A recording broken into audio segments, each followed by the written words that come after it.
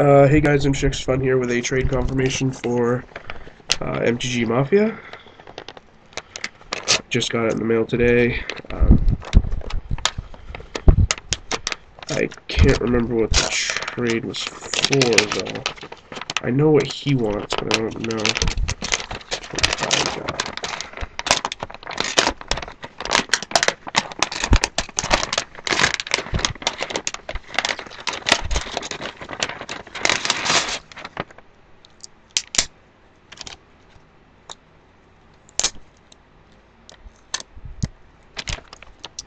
Uh, I don't know, but here's a sign land.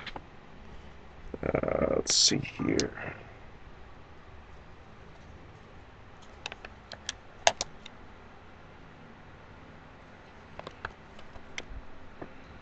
Uh, oh yeah, okay.